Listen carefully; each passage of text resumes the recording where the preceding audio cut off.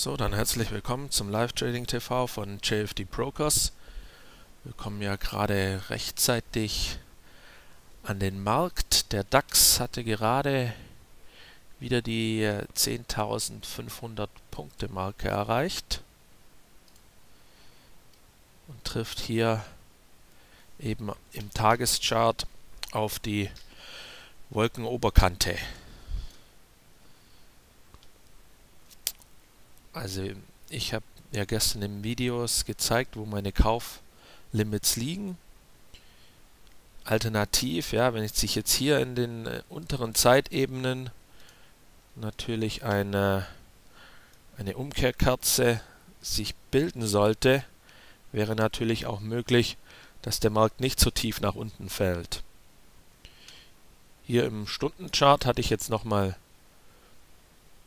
einen Trendkanal eingezeichnet. Deswegen könnte man auch dieses Setup leicht nach unten versetzen und müsste nicht auf einen Stundenclose sowieso nicht warten, sondern das Setup würde dann ab diesem Hoch dann aktiviert werden. Das wäre dann bei rund 10.660. Also das wäre hier auf jeden Fall vielleicht die bessere Alternative, weil der Kurs könnte sich sonst zu arg absetzen. Sollte man sich auf einen Stundenclose, auf einen Stundenclose warten. Und eben hier im Wochenchart ist eben diese Marke knapp unter der 10.400 Punkte Marke interessant. Interessant wird es äh, trotzdem, vielleicht werden wir das noch hier live miterleben, wenn jetzt wirklich die 10.500er Marke wirklich brechen sollte. Ob dann wirklich gleich im Anschluss Stop-Loss-Verkäufe eintreten und eben der Markt direkt 100 Punkte verliert. Sonst dazwischen habe ich nämlich, also ich persönlich jetzt keine großen Unterstützungen mehr ausgemacht. Also könnte der Markt ja wirklich erstmal da durchrauschen. Theoretisch könnte er auch nochmal 100 Punkte äh, abgeben, falls er da nicht stoppen sollte.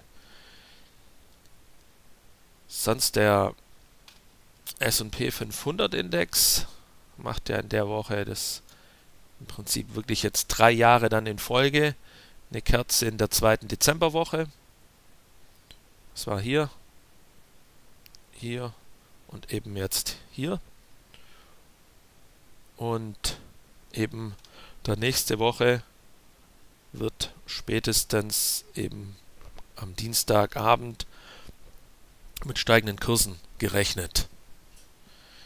Aber da werde ich auch noch kein Intraday äh, Setups dann basteln, sollte es soweit sein. Zu den anderen Setups Gold ist jetzt leider unter den Stopp gelaufen. Da konnte man einmal eine Wegstrecke mitmachen. Die zweite war allerdings dann ein Fehlsignal oder ein Fehltrade. Bei den Minenaktien, da sich der Goldpreis nicht so entwickelt hat, wie ich es mir oft habe, sind auch die deutlich wieder zurückgekommen. Das ist jetzt die Newmont Mining Group und die Barrick Gold ist eben auch wieder zurück. Aber hat hier eine gute Unterstützung bei 57. Also hier werde ich womöglich auch dann die Reißleine ziehen. Bislang ist der Stopp auf dem Tief. Sollte es aber jetzt hier ja deutlich unter die 57 gehen oder per Tagesschluss darunter schließen, werde ich wahrscheinlich auch das Setup dann beenden. Dann habe ich noch ein paar deutsche Werte vorgestellt. Die Linde AG bei 134 konnte sich leicht positiv entwickeln. Heute jetzt mit dem schwächeren DAX eine schwarze Kerze. Aber hier ist das Risiko ja eh stark begrenzt. Sollte es den Stopp, sollte es noch ein teures Tief geben, wird der Stopp gleich ausgelöst. Bei bei BMW In der Daimler-Aktie wird es eben interessant. Hier hat bislang der Kurs, also außer der heutige Tag, hier es schön gedreht. Allerdings jetzt liegt er unter dem EMA 38 und trifft halt hier auf den Unterstützungsbereich auf. Hier war das im Prinzip schon berücksichtigt, dass es ja noch ein bisschen Spielraum nach unten hat.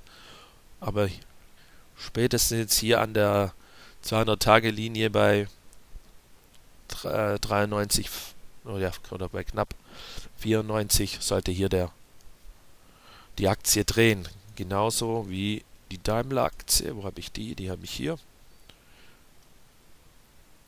Trinkt jetzt eben auch in den Unterstützungsbereich ein und kann, äh, wenn ich jetzt hier den EMA 200 dazu schalte, okay, hier liegt er leicht schon drunter, aber nichtsdestotrotz ist hier ein wichtiger, wichtiges Widerstandsband, ein Unterstützungsband und sollte eben hier auch dann drehen und würde dann auch passen, wenn der Markt eben nochmal ein bisschen nach unten rauschen sollte.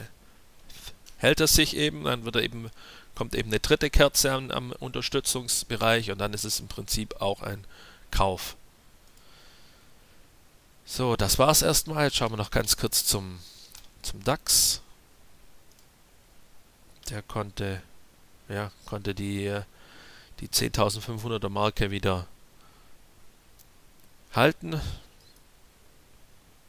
und ja, steht aktuell eben 20, 25 Punkte darüber. Also hier das Setup werde ich nachher noch im, äh, im Stream eben auch vorstellen, dass man hier die, die Kaufmarke, die Stop-Buy-Marke nach unten setzen kann.